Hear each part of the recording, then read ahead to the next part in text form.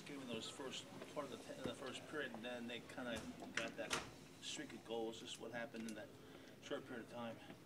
Uh, I think we, you know, we started off pretty strong. You know, it was back and forth game, and you know they were able to capitalize early, and we just weren't.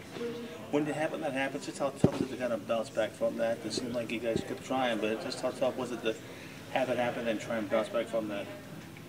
That's Yeah. tough- How tough was that for you? Yeah, it was really tough. You know, going down four nothing after the first. It's obviously not the way you want to start, but I think you know we never quit. We never quit on this team, and you know we we tried our best. You know. How badly do you think the team just needs the break, uh, maybe as a reset?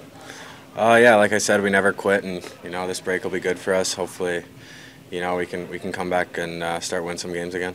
How confident are you with your game right now with the two goals tonight and- and just maybe how you scored them? Uh, yeah, it obviously feels good to score, and you know, but uh, I would give away those goals for a win anytime. John said this, no, Tortorella said this is not on Sam Ersson, it's on everyone. How, confident are you guys that you can play better in front of Ersson too?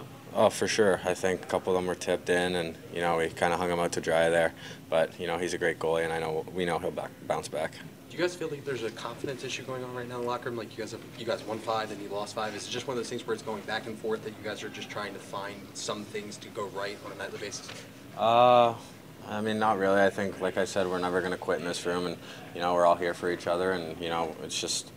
You know, we, we haven't been playing the best the last couple games. We haven't been getting the bounces, but I think, you know, after this break, we'll be we'll be right back to it.